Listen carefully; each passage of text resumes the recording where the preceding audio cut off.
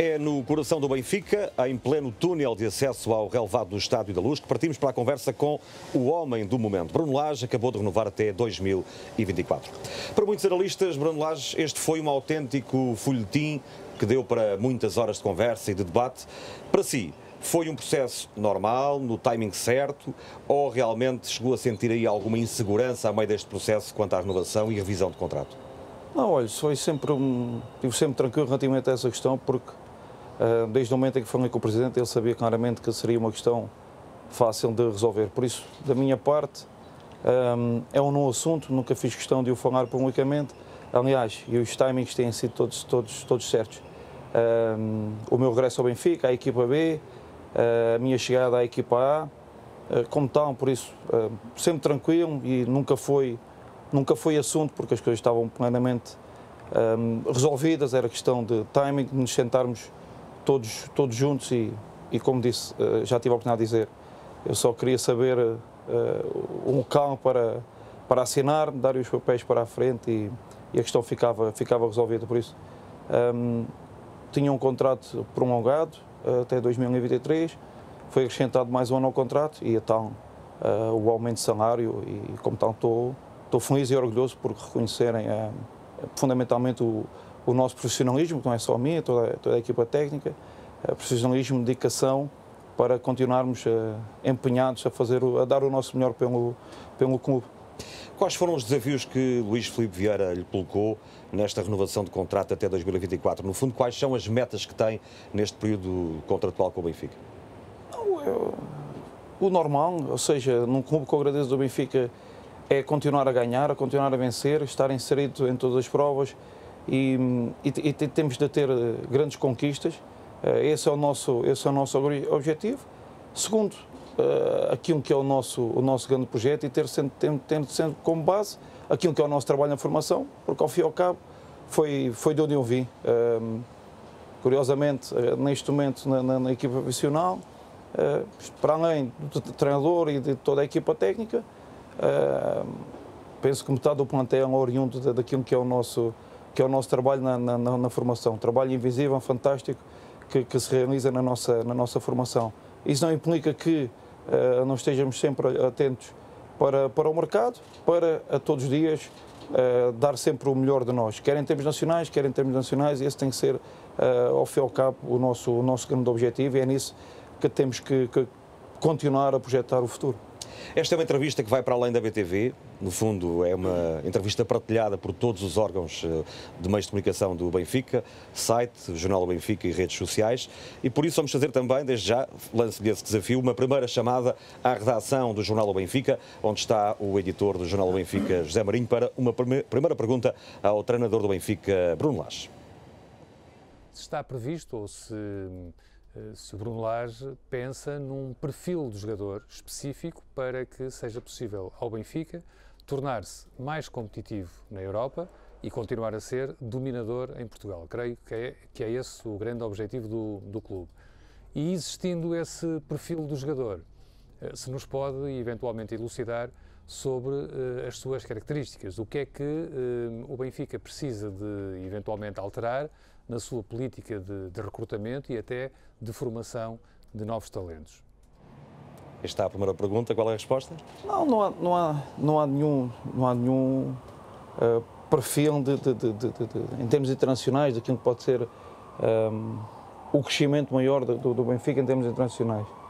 Um, ehm, olhando um pouco para aquilo que é o nosso plantel, é, é nós temos, termos, temos líderes líderes na, dentro da equipa, como é o Jardel, que está sempre disponível para jogar e para treinar e é um exemplo para, para todos. Um, olhar para aquilo que é, que é a nossa formação e ter um miúdo como o Tomás Tavares, que um, tanto joga um jogo de, de Youth League com, como, como joga um jogo de, de, Liga dos Campeões e é um autêntico reforço. Uh, curiosamente, na minha opinião, e uma análise assim transversal, é talvez nos últimos 8, 10 anos, o melhor uh, substituto ao André Almeida. Um, e vemos na formação, às vezes costumo brincar, onde é que, onde é que poderíamos arranjar um, um, atleta nestas condições, a que valor, e estava disponível para, para, para, para o Benfica. Olhar para para os mais velhos, para aquilo que tem sido a carreira, fundamentalmente do Pizzi, neste, neste início da época. Fantástico, em que um, com 30 anos e, e continua a atingir uh, marcas importantes na, na, suas, na sua carreira. Não sei se, é, se, se, se, já atingiu ou se já ultrapassou o número de gols, mas já, já. Para, para, para lá caminha. Com 30 anos ainda ter essa, essa ambição e essa motivação. E depois, eh, em gente de brincadeira, olhar um pouco para o, para o Chico. Eu agora já lhe chamo Chico, já não lhe chamo Chiquinho. e qualquer dia temos de chamar Chicão, porque realmente é isto, é ter a capacidade de encontrar um jovem uh, no Moreirense e ter a capacidade de, de, de, de, em poucos meses, fazer o jogo que ele fez um, com, com o Zenit em casa. Foi, foi de todos o, o, o, o jogador, do nosso 11 inicial, foi o jogador que mais ações fez, quer ofensivas, quer defensivas. E, este, e dentro disto que eu acabei de dizer, este tem que ser o perfil do, do, do, dos nossos jogadores para, para tornar a nossa equipa mais, eh, mais competente.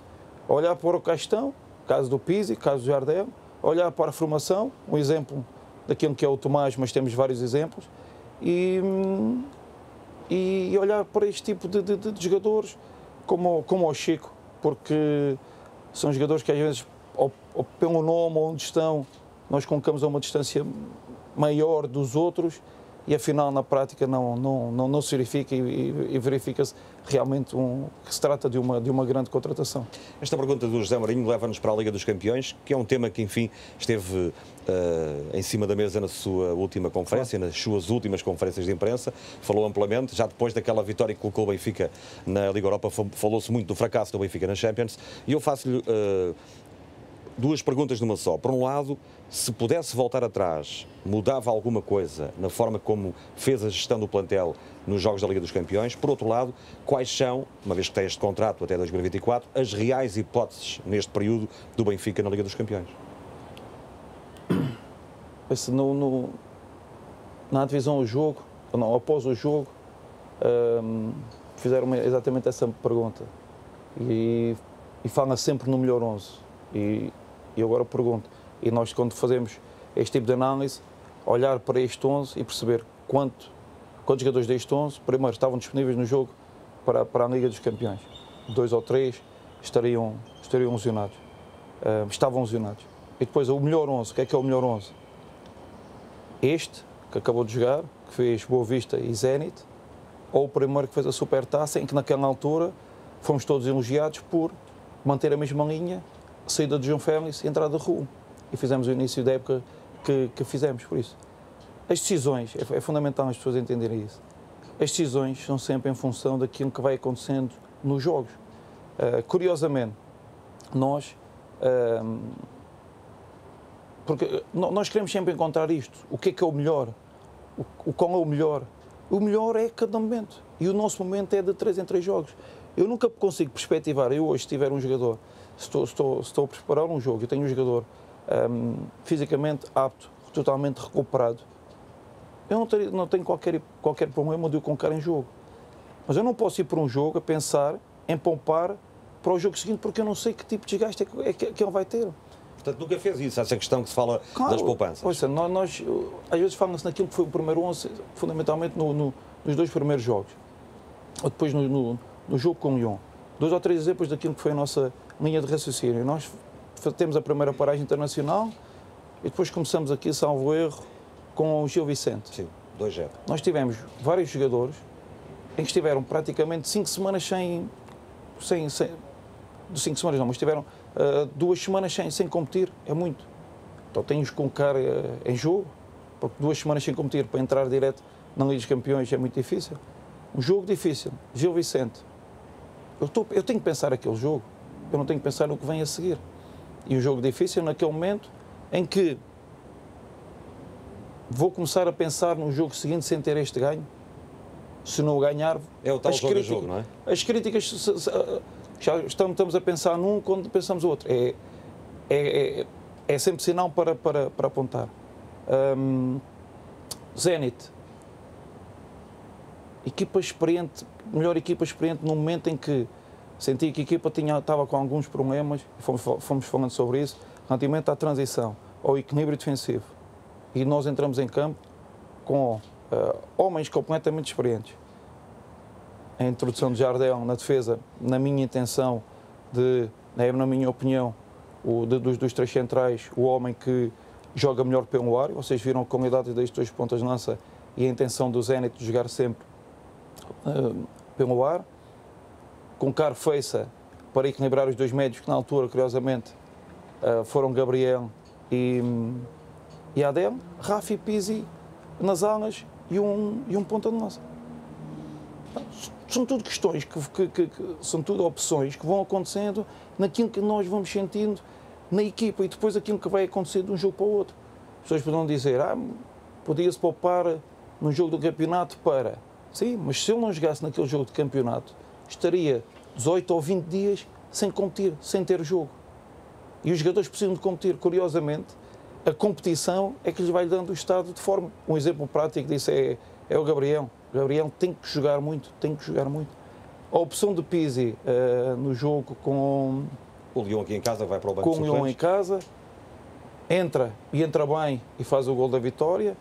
E a nossa intenção, porque, veja, veja o intervalo. Pizzi agora está bem, este é o grande Pizzi, mas houve um intervalo entre esses jogos do Lyon, nós tivemos uh, um ou outro jogo em que eu senti que ele não estava bem, por vários motivos. E o principal motivo, que nunca ninguém pensou sobre isso, nós agora já podemos falar sobre isso, este relevado que nós tínhamos aqui trazia um desgaste enorme à nossa equipa Vejam, se vocês vão recordar, por exemplo, o jogo que o, não foi só o Pizzi, mas que a equipa fez um, em Tondela. A equipa apresentou-se com enorme desgaste uh, físico em que nós sentimos.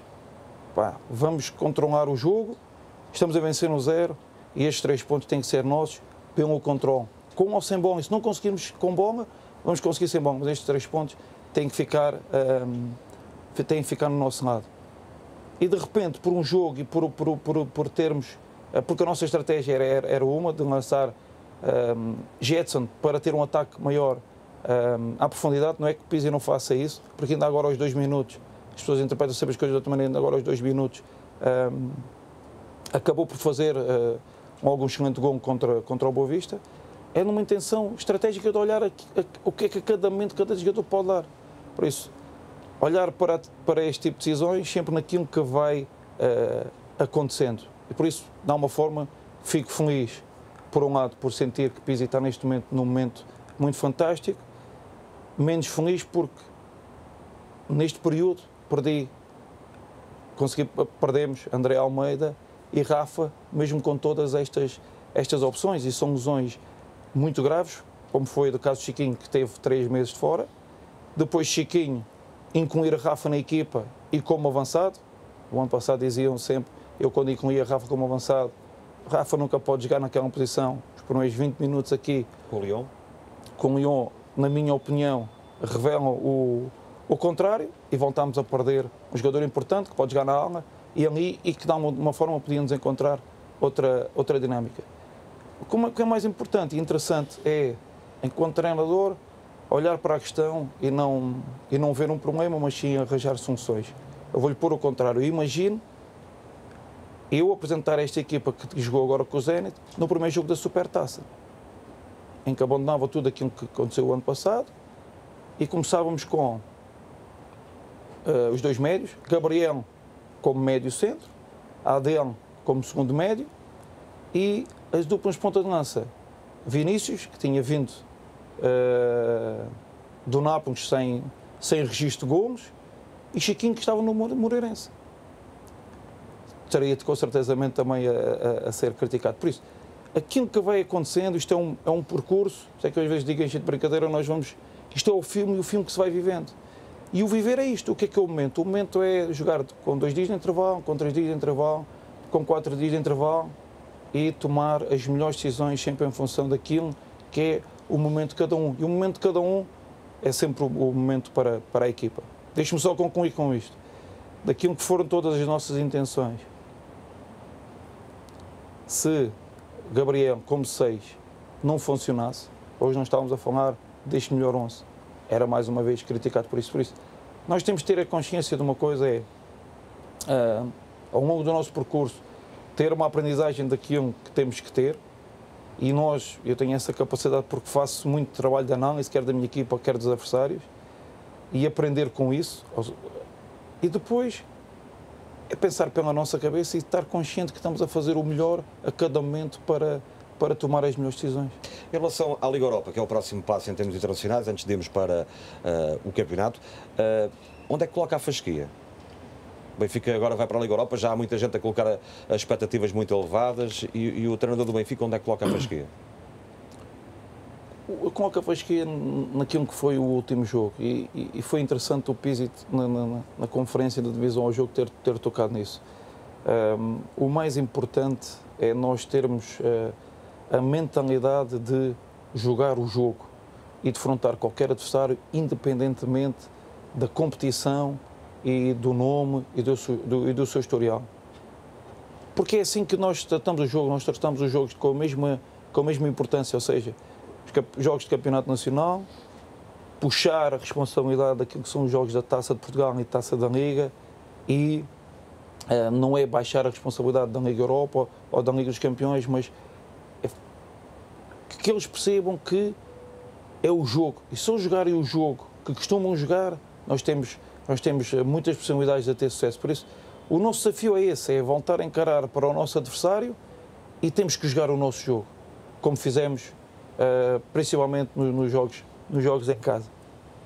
Uh, vamos dar um salto agora à redação do site do Sport Jogo Benfica, onde está o editor João Sanches para uma pergunta a Bruno Lage.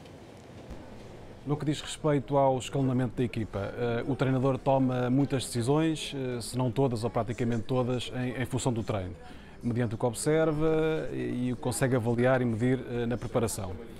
O, do lado de, de, quem comanda uma equipa, como é que se explica o caso, uh, não raro no futebol, uh, daquele jogador que justifica no treino, uh, mas depois não consegue expressar em campo e em competição o seu trabalho preparatório? Não é fácil, mas responder a isso agora é. Um, ehm, tem, tem a ver com questões mais, mais emocionais, não é? é um pouco aquilo que eu dizia uh, sobre, o, sobre o João Félix. Ele está no parque a jogar a bola com os amigos, ou a jogar aqui no Estádio Dom Luz. Neste parque maravilhoso nós temos aqui à nossa volta com 60 mil pessoas, uhum. para ele era, era, igual. Eu acho que, que é essa a grande questão, é quem consegue uh, trazer para, para os momentos de decisão todo o seu potencial no estado, no estado emotivo completamente, completamente tranquilo. E é isso tem que ser o nosso, o nosso trabalho, fundamentalmente na, na, nas competições europeias que nós, eh, independentemente do, outro, do, do adversário, nós consigamos jogar o nosso jogo em termos coletivos. Os jogadores é, é, a, mesma, é a mesma situação. É, é olhar para o jogo, independentemente do adversário, é, fazer a coisa de uma forma muito, muito, muito natural. Quem viu as últimas exibições do Benfica, sobretudo nos últimos uh, quatro jogos uh, com Leipzig, Marítimo, Boa Vista e Zenit, descontando aqui o Sporting da Covilhã, no outro contexto, percebeu que o Benfica subiu claramente uns degraus no plano exibicional, sobretudo a partir do momento em que começa a colocar essa dupla de meio campo com Gabriel e Tarat. Uh, o que é que levou a tomar esta decisão e como é que explica esta subida de rendimento da equipa no plano exibicional, com um futebol mais consistente e de grande qualidade? São, são decisões que nós, nós temos que tomar. Foi o golpe de asa do treinador aqui? Quando ganhamos, sim. Se no primeiro jogo, da Liga dos Campeões, se a Sérvia tem feito aquele gol, tinha sido outro. Por isso, nós temos que tomar, tomar de, decisões e naquela altura senti isso. Nós, nós tínhamos em vários jogos, eh, antes disso acontecer, para procurar um jogo mais ofensivo e, e procurar ter mais passos verticais, tivemos a necessidade de sempre tirar um médio para incluir um, um jogador que pudesse procurar uh, espaços, espaços mais ofensivos. Mas jogando estes dois médios com, com um avançado, a equipa podia, com dois avançados, a equipa podia ficar um pouco um, desequilibrada e sentimos que em determinado momento e até mesmo em, em treino que, colocando Gabriel Aldeão e a facilidade com que Chiquinho tem de, a, a todo momento, se transformar num terceiro médio ou num avançado, que nós poderíamos ter vantagem nisto. Ficávamos mais equilibrados, porque tínhamos três médios e toda a gente mais ligada vêm para a bola e, e, e conseguimos ter mais, mais, mais jogo. E, e, como tal, decidimos e optámos por, por isso. E, e neste momento, como eu digo, da equipa da Supertaça, praticamente é, as dinâmicas do ano passado, tirando a, a, troca de João pelo, pelo, pelo Raul para esta, são quatro ou cinco alterações, mas a dinâmica e aquilo que é a nossa ideia de jogo e, e ao fim e ao cabo também aquilo que é o que cada um dos jogadores pode dar está, está, está implícito nesta forma de jogar. Por isso, é como lhe digo, temos um, um plantel uh, de, enorme, de enorme qualidade, todos eles prontos para dar contributo à equipa, com muita qualidade, muitos jogadores a poder fazer um, várias posições. Eu recordo que houve um jogo, uh, até para a taça, que terminámos com os dois médios, Chiquinho e, e Pizzi, por isso, jogadores de enorme qualidade que podem jogar em várias posições. Por isso, uh, Mas há quem diga que esta é a fórmula certa, que encontrou a fórmula certa. Vamos ver daqui a três meses ou quando esta equipa não tiver sucesso. Porque uh, o momento é agora já em, com o Famalicão e dar sempre uma, uma, boa resposta, porque a nossa vida é esta. É muito difícil e, se, se, as pessoas olharem para aquilo que é um, um início de uma época e um terminar da outra, eu tinha-vos falado sobre isto. Uh, um jogador é muito difícil um jogador fazer sempre o mesmo o mesmo registro e nós tivemos tivemos isso tivemos um início da época muito bom e a determinada altura por várias circunstâncias que nós já, já, refaramos, já falamos e não, não merece a pena uh, voltar a referir sobre, sobre, sobre isso. Outros jogadores vão, vão, vão aparecendo e, e espero que sim, que esta seja a forma, a forma certa e que consigam levar o, a nossa equipa a atingir os objetivos, uh, mas seguramente da maneira como toda a gente trabalha e hum, acredito que uh, e por aquilo que é o, o longo percurso da época que um ou outro jogador ainda possa entrar e um ou outro jogador possa sair da equipe. Vamos regressar à redação do site do Sport Jogo Benfica, onde está o João Sanches, para mais uma pergunta. Agora sobre um aspecto do momento do jogo, em particular, deixado aqui uh, pelo João Sanches. Viva, Mr. Bruno Lage. A pergunta que eu tenho para fazer é, é a seguinte. Uh, vimos no Bessa uh, recentemente um posicionamento muito peculiar uh, dos jogadores do Benfica na grande área ofensiva no momento de, de atacar os pontapés de canto. a reinvenção de, de soluções para iludir marcações e ganhar duelos em esquemas táticos é cada vez mais uma, uma preocupação um, do treinador e da sua, da sua equipa técnica para desbloquear jogos, para fazer a diferença e, e para ganhar. E já agora pergunto-lhe também uh, quanto tempo é que dedica a este tipo de, de detalhes. Bola parada. O Benfica já marcou no campeonato 10 golos de bola, bola parada, 7 de canto. Sim, olha, uh, está a ver, isto é, é curioso. Uh, nós já fizemos isto anteriormente. Como assim? Aqui em casa, no, contra o, o Eintracht, o gol do Rubem Dias. Se vocês forem ver o Por isso é que eu desconfio sempre da, da, da, da uma, uma, parte das análises, porque o tempo que nós perdemos a analisar os nossos jogos, eu perco muito tempo, às vezes vejo um jogo, uh, vejo o jogo, vejo o resumo do jogo e depois faço a análise a cada, a cada processo. Por isso, quanto tempo? Há muito tempo. Muitas horas? Muitas horas. O nosso jogo, por vezes, se calhar gasto 4 ou 5 horas a analisar o jogo, porque fazemos várias vezes. Faço primeiro um resumo, depois do resumo revejo todo o resumo, depois faço uma pequena análise para, a cada momento, olha, ainda hoje fizemos, a análise daquilo que foi o nosso, a nossa organização defensiva e mostramos 5 uh, minutos e meio de imagens ao, aos jogadores. E para chegar a esses 5 minutos e meio, temos que, partir, temos que partir muita pedra. Só estamos a falar da organização defensiva até do, do, do, do equilíbrio defensivo. Um, mas este foi um posicionamento que nós, que nós um, já tínhamos feito aqui com, com o iTrack, só podem ver, é o gol do salvo erro do, do Rubem Dias. E foi uma coisa que, que nós, nós aprendemos em Inglaterra, porque em Inglaterra marca-se muito, eh, algumas equipes, somente no, no Championship, marcação, marcação individual. E tínhamos visto, curiosamente, uma, uma, uma equipa em alinhar todos os jogadores. Os quatro em fila, parecia até um, um comboizinho, né? E, e até esse foi, olha, foi um, um pequeno apontamento que, que, que eu vi quando, quando eu, porque eu estou a fazer análise de mais daquilo que é orientação ofensiva e defensiva e as respectivas transições, e quando estávamos a preparar o jogo para, para o Eintracht, eu vi o Veríssimo e o, e o, o Alexandre a falarem nisso, que as marcações eram individuais, e depois uh, falámos sobre isso. E eu, eu recordo-me de falar com eles, olha, em Inglaterra, quando isso acontecia, havia uma equipa, eu acho que era o Brentford, que faz este tipo de, de, de, de posicionamento. Nós devemos ter aí as análises que fizemos lá, pá, vocês vejam isso e tirem alguma coisa, alguma coisa daí, porque é, é mesmo isto, nós aprendemos todos um, uns com os outros e estamos sempre a tirar ideias de um lado e do outro.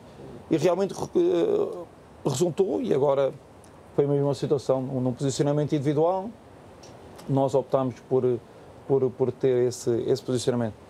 E agora aproveito também para fazer uma parte que é, às vezes as coisas ditas, ditas de determinada maneira, as pessoas levam a entender que quem diz que pensa e toma decisões para a cabeça dele que não o prende. Não, eu estou sempre a aprender, a analisar a minha equipe e a analisar uh, os adversários e perceber uh, que tipo de comportamentos é que eles têm quando jogam contra um sistema, contra um determinado jogador, enfim. Uh, por isso, uma coisa é estou sempre a aprender e estarei sempre a aprender. Mas depois, enquanto, enquanto líder e enquanto, enquanto treinador, e já não é assim que eu. E já, já penso assim há muito tempo, as últimas decisões têm que ser sempre na minha cabeça, porque depois, ao fim e ao cabo, a responsabilidade cai em cima de mim, então eu não vou dar, não vou dar a oportunidade a que ninguém tenha a responsabilidade, eu quero uh, viver com, com as minhas ideias. Estamos também ligados à sala, à redação das redes sociais do Sport Jogo Benfica. Vamos fazer essa ligação para o Nuno Vaz, que é o porta-voz das redes sociais do Benfica e que tem uma pergunta para Bruno Lage porque é que o fato de treino é a sua imagem de marca desde que chegou à equipa principal do Benfica? e a moda parece que pegou a ver. É, está de fato de treino. Hoje até. Hoje é, hoje é uma entrevista diferenciada. É verdade. Hum, não, ouça, eu, eu fui. Eu, eu, gosto de ser visto como um, como um treinador de, de campo. Eu, eu estou sempre no campo, sempre. E é do treino, a paixão, a paixão. Eu tenho uma maior paixão no, no treino e e sou muito mais emotivo no, no treino do que no, do, do, do, que no jogo. E, e habituei-me a isto, a ir para o jogo. E em Inglaterra nós, nós andávamos sempre de fato. Chegávamos ao estádio e vestia o fato de treino e ia, ia, para, ia para o estádio, ia preparar o aquecimento, ia preparar tudo e habituei-me a estar. Nem é superstição? A estar, estar de fato de treino. Não, é, é, uma, é uma situação de, de me, sentir, me sentir confortável, principalmente em Inglaterra e mesmo aqui estar ali de fato e a chuva não, não era bem a, a, aquilo que eu gostava de, de estar. Mas um, olhando um pouco para isto, eu acho que também um, é importante às vezes olhar para isto. Não é, pelo menos na minha opinião, não deve ser o, o fato, ou o casaco, ou a gravata, ou a nossa imagem que faz de nós melhor ou pior. Um, por isso, é, independentemente da, da, da, da, apresentação de cada um, é verdade que conta, mas o que realmente conta é, é, é a competência. E, e, nós estamos nesta, nestes tempos modernos, nessa sociedade moderna, e as nossas análises ficam muito superficiais. E às vezes é isto: é quem veste um fato, mete uma boa gravata, tem um bom penteado. Já dá e, não é só treinador, em, em, diversas áreas, por isso eu acho que é muito mais uh, eh, um, objetivo quem realmente olha para cada um de nós e para aquilo que é a competência de cada um. Mas eu não tenho nada, antes pelo contrário, que neste momento sinto muito bem de fato treino. Aliás, sou muito bem tratado pelo, pelo Sr. Luís, que é o nosso roupeiro. O casaco que ele me arranjou é fantástico, os ténis também. Uh, por isso sinto muito bem, confortável um, de de fato treino, mas não, não, nunca sabe o dia da manhã, mas neste momento é, é de fato treino. Aqui na, na, conferência antes do jogo com o, o, o, Leipzig, até perguntar ao treinador do Leipzig se ele ia de, de fato, de fato de treino, se trazia, enfim, um colete e ele até deu a resposta a isso, foi tema na conferência. Bem, vamos regressar ao piso 2 do Estádio da Luz, à redação do Jornal do Benfica, porque o José Marinho, editor do jornal, tem mais uma pergunta. Esta pergunta é muito dirigida, uh, talvez até a um nível pessoal, ao treinador do Benfica. Porque eh, eu creio que hoje em dia em Portugal, eh, tendencialmente entre os adeptos, tem alastrado aqui um fenómeno que aponta para uma certa desvalorização do, do campeonato, uh, atendendo à forma como o Benfica conseguiu retumbantemente vencer o campeonato da época passada. Pergunto-lhe se um, o Bruno Lage acha que os adeptos, e em particular os adeptos do Benfica, têm de facto, ou já ganharam de facto, a noção do impacto que, que teve o Bruno Lage nessa meia temporada que permitiu ao Benfica recuperar eh, sete pontos de desvantagem e tornar-se campeão, por um lado, se pelo outro não acha que, de facto, eh, não apenas em Portugal, mas se calhar um pouco por toda a Europa, eh, devido também ao impacto que a Champions tem cada vez mais nos, nos adeptos, se particularmente os campeonatos, as ligas, não tendem a ser um pouco mais desvalorizadas pelos adeptos, como se, por exemplo, ganhar um campeonato em Portugal fosse a coisa mais, mais simples e mais básica uh, que, que, pudesse estar nesta altura ao alcance de clubes como o Benfica, ou seja, existindo quase uma obrigatoriedade de vencer esse campeonato.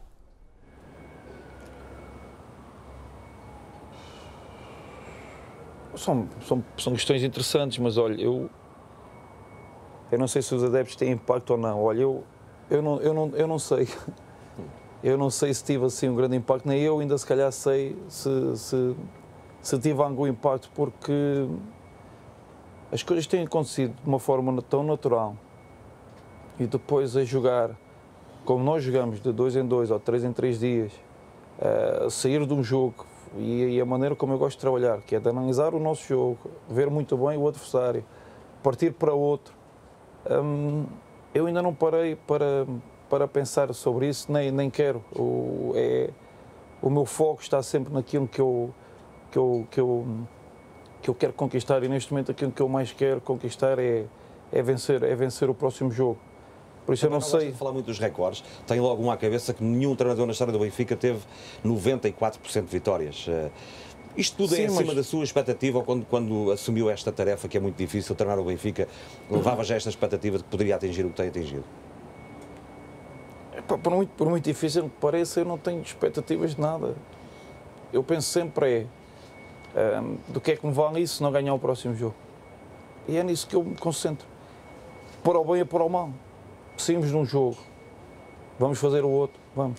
Então vamos com este sentido de, de ganhar. Agora, há uma coisa que eu tinha que eu tinha convicto em mim e era uma coisa que eu dizia de uma forma sentida e nunca e às vezes agora os meus jogadores que eu treino na formação muitos anos atrás eh, podem se calhar pensar e olhar um pouco para, para esta frase e ele dizia isto tantas vezes que ao fim e ao cabo depois tinha que confirmar no, no, uh, por ele quando tivesse a oportunidade. Eu dizia a toda a gente aquela equipa do André Carvalho, Miguel Vítor, Ruben Lima, o Romeu Ribeiro, o Miguel Rosa, enfim. Da sobra de todos. Não, não, isso não, tenho uma memória que não, não me escapa nada.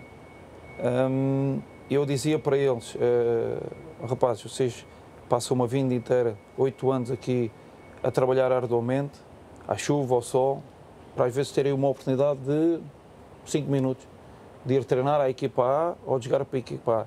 E vocês naqueles cinco minutos têm que mostrar àquela pessoa que lá está, a liderar, que merece uma nova oportunidade.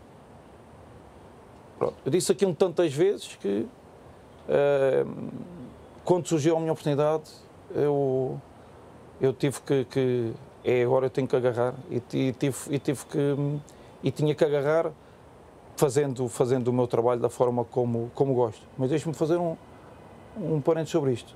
Nunca foi minha intenção pensar em vir treinar a equipa A quando regressei a Portugal.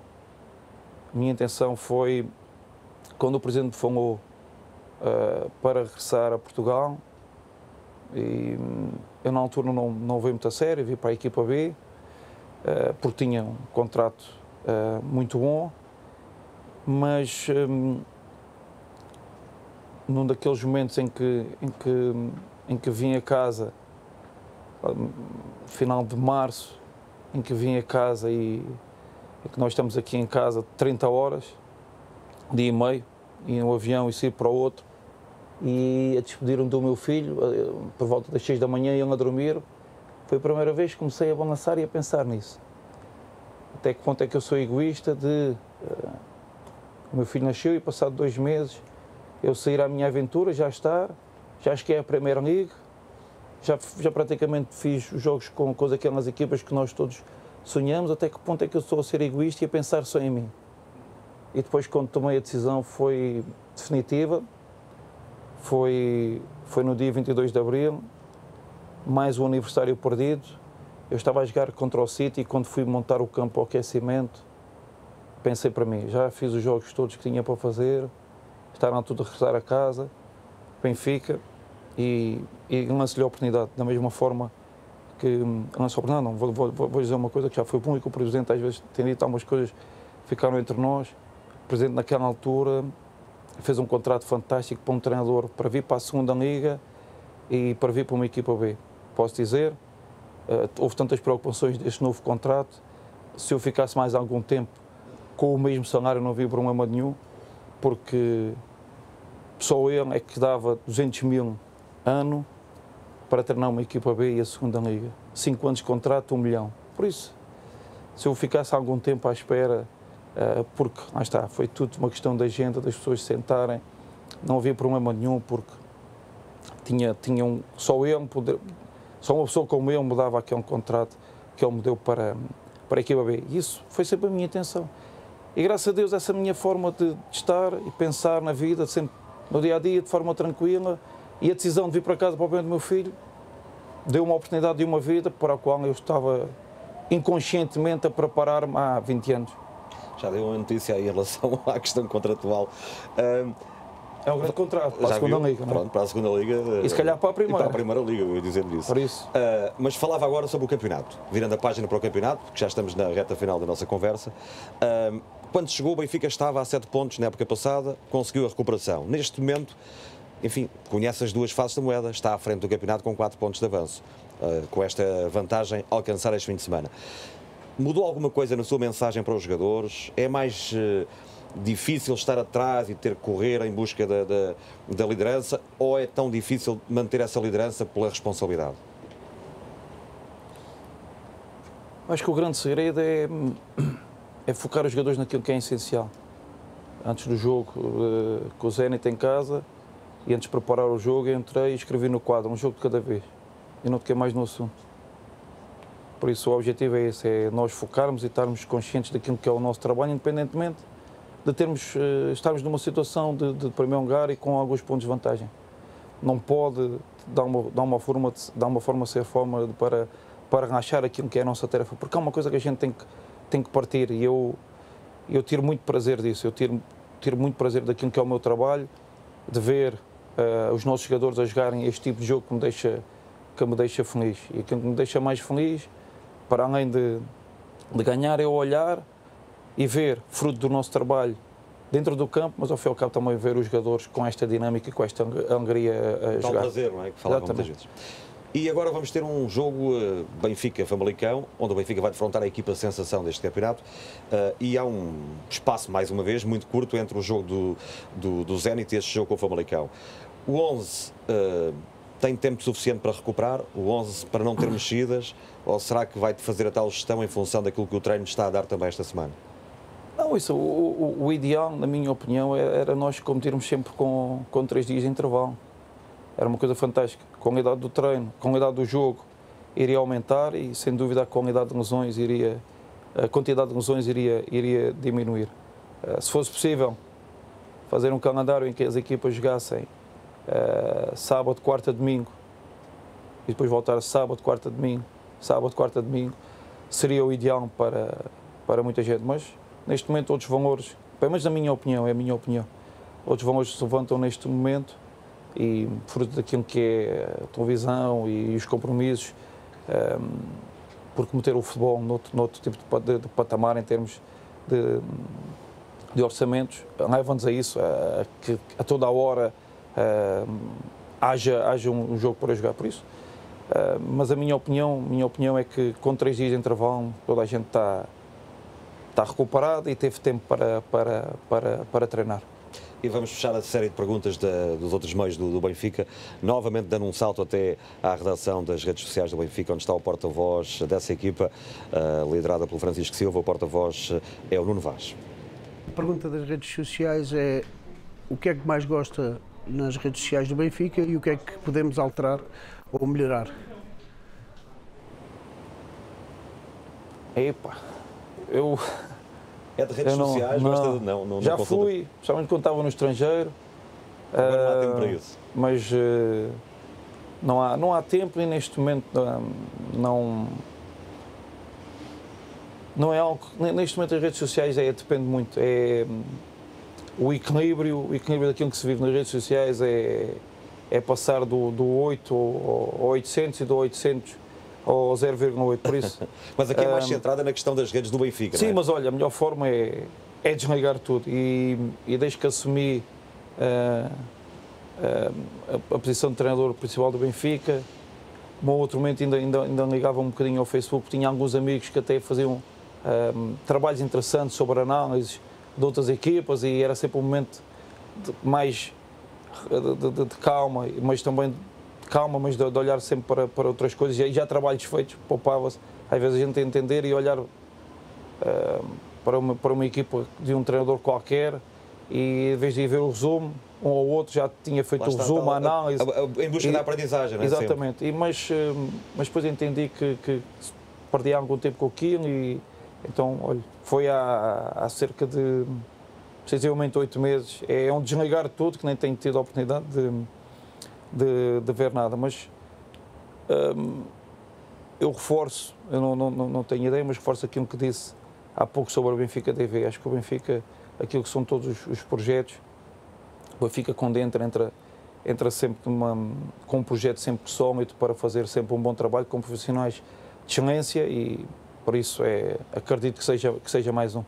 E vai daqui um abraço para os camaradas também das, eh, dos meios do, de comunicação do Benfica que aqui eh, partilharam connosco esta entrevista. Para fechar, eu vou fazer-lhe aqui um desafio, uma espécie de tiki-taka com uh, perguntas e respostas necessariamente curtas. Uh, não sei se aceita o desafio. Claro. Vamos a ele. Uh, qual foi o jogo mais marcante dos 53 que fez ao serviço do Benfica? Não é fácil de responder, mas. Hum eu acho que não houve assim um jogo, mas houve ali um período, um período que, que realmente um, não há perfeição, mas enquanto estivemos muito bem, um, em que coincidiu com, com a nossa vitória em Alvalade. Os dois ou três jogos antes, os dois ou três jogos uh, a seguir, até, até, foi, até a questão da, da, da lesão do Gabriel, acho que a equipa atingiu, atingiu um nível muito, muito bom e uma produção ofensiva uh, muito boa. Esse, esse, esse período foi, foi realmente muito, muito marcante. Uh, o melhor e o pior momento uh, em quase um ano de Benfica? O melhor, o melhor é, sem dúvida, a conquista, a reconquista. Foi realmente um, um momento muito, muito importante.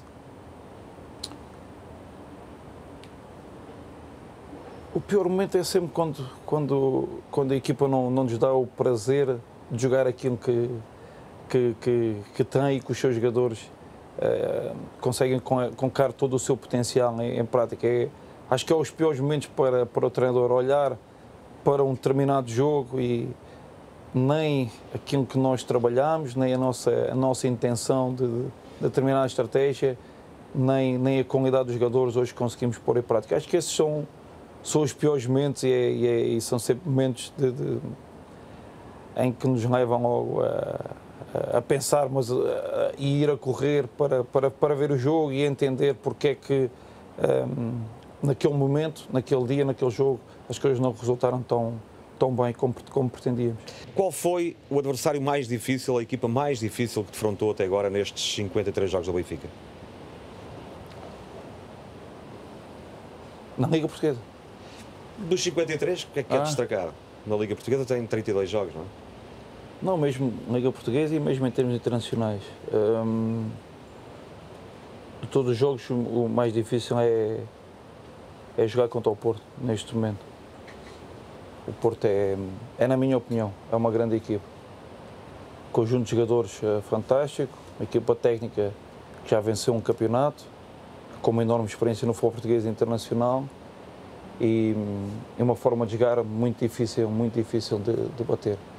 Por isso foi, é dos jogos que dá que deu, que deu, que deu muito gozo e que dá gozo para preparar, porque dá prazer preparar, porque realmente trata-se de uma grande equipe que, que pode apresentar várias, várias, várias nuances. Por isso é uma equipa que dá muito trabalho preparar, analisar e depois preparar uma boa estratégia para, para vencer, que esse, é, esse tem que ser o nosso objetivo.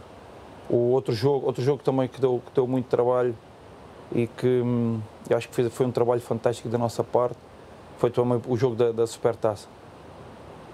Nós fomos vendo aquilo que o Sporting ia fazendo ao longo, ao longo da, da, da pré-época e nós, o facto de, de, de, de, nunca ter jogado com, com, com, com, com os três centrais foi sempre, deixou-me sempre de, pensativo se aquilo poderia acontecer ou não. E quando fomos à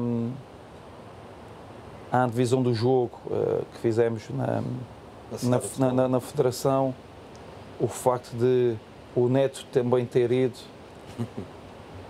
eu percebi logo que, nós, que eles poderiam uh, surgir com os três centais e, e, e deu-nos deu deu muito trabalho preparar o jogo, mas ainda bem que o fizemos porque, porque, porque as coisas correram muito, muito bem. Mas este foi um jogo, mas realmente a, equipa mais, para já, mais difícil que nós, que eu defrontei é é o Porto, por tudo aquilo que já, já referi. Dê-nos uma ideia para melhorar o futebol português. Olha, eu, eu olhava muito para, para os quadros competitivos. Na Primeira Liga não, fazia uma alteração na Primeira Liga, acho que podia descer mais uma equipa e fazia, transformava a Segunda Liga um, como a Championship. Subiam dois e fazíamos um playoff. O terceiro, quarto, quinto e sexto, desses quatro equipas, fazer um playoff como, como o Championship faz e que podia, podia ter uma equipa para, para subir. Acho que isso ia, ia trazer ainda mais competitividade à segunda liga e, e, e, olhava também um pouco para o campeonato do para o campeonato nacional e que também fazia a mesma coisa, mais equipas a descer da, da segunda liga e, e, e mais equipas a subir, porque um, muitas equipas com, com enorme qualidade, vejam bem, é olhar um pouco para, para o Vizela, para aquilo também que o União vai fazendo e outras equipas, com enorme potencial, um enorme orçamento, clubes com um enorme historial, mas pelo facto das vagas serem, serem poucas, por Há vezes... 72 equipas para duas subidas. Para duas subidas e depois a, a subida ser, ser disputada a eliminar. Eu fazia, fazia uma primeira fase nesse campeonato nacional, mas depois uma fase, uma fase final em que, na minha opinião, subiam uh, três equipas e tinham que descer, e tinham que descer uh, três equipas. É muito difícil escolher um, mas não sei se lembra de algum que tenha tido mais prazer. Um dos golos, dos mais de, creio que 140 que o Benfica tem, na era Bruno Lage. Aquele golo que você diz assim, este golo da minha equipa deu-me um prazer imenso ver. Há vários, mas, uh, olha, vou Sabe, sabe, há sempre, até, até curioso, porque hum,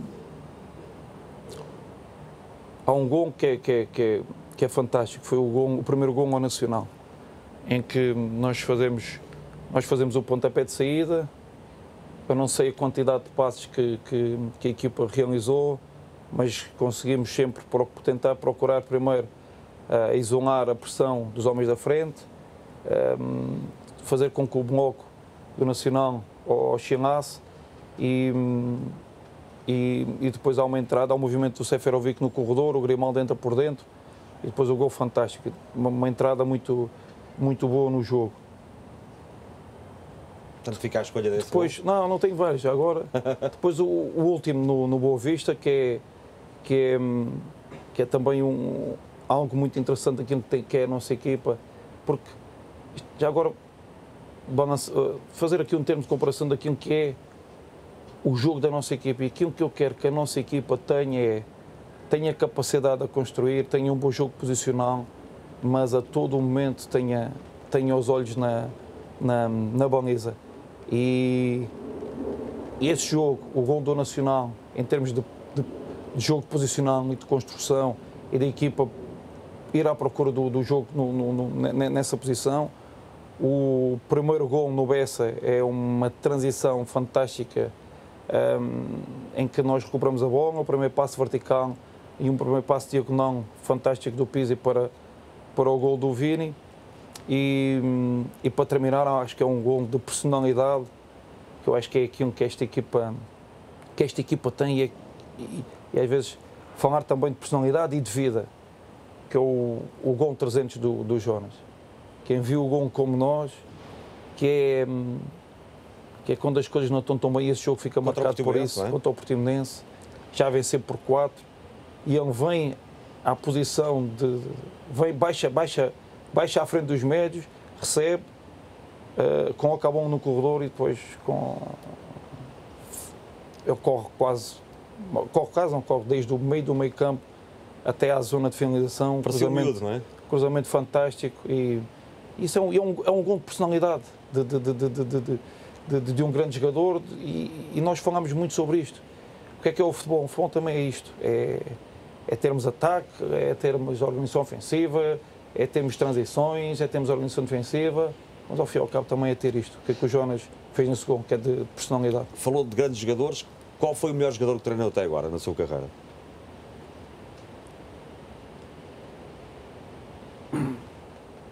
Eu vou falar de um, de um, de um grande jogador que tenho pena não tenha atingido o potencial que, que, que merecia. Foi o, o André Carvalho. Acho que naquela altura perdeu-se muitos, muitos jogadores por, um, por não, o Benfica não ter as condições que tem, que tem neste momento. E essa geração, falo do André Carvalho porque era um dos melhores jogadores dessa geração, mas acho, acho que essa geração merecia ter a oportunidade de ter uma equipa B, depois de ter todo um centro de estágio e todas as oportunidades que neste momento estes miúdos têm, e às vezes é importante nós recordarmos a eles que um, o Benfica neste momento está assim, mas uh, deu muito trabalho reconstruir isto tudo para que todos neste momento tenham, tenham estas oportunidades fantásticas de, de, de, de, de progredir a sua, a sua carreira. Já me fintou bem aqui com esta, mas muito bem. E o que é que me faz sonhar finalmente? Às vezes perguntam-me isto. Eu, eu contava, contava aqui no Benfica, na formação, tinha 35 anos, e com 35 anos sonhava muito. E de repente, por vários fatores, eh, nós mudamos de vida. Fui para o Dubai, eu acho que desde, desde aí, e pessoalmente em termos, em termos profissionais, quando, quando nós tentamos idealizar um caminho e depois acontece algo que nos desvia desse caminho, hum, pá, nós sonhamos de determinada maneira, de determinado caminho, a coisa não aconteceu, vamos por outro lado.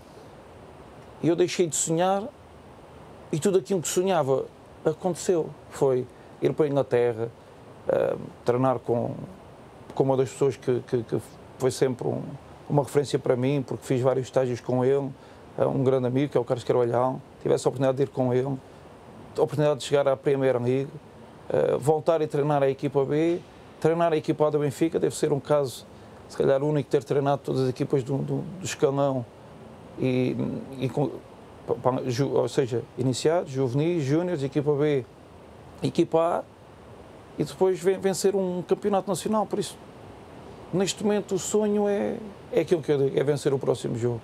E as coisas de uma forma natural vão, vão, vão acontecendo. Nuno muito obrigado. E o sonho que manda a vida. Desejo as maiores felicidades para este percurso no Benfica. Para já, com pouco menos eh, de um ano, já conseguiu um lugar na história do Benfica. Tem agora o que resta desta temporada e mais quatro pela frente como treinador do Sport Lisboa e Benfica.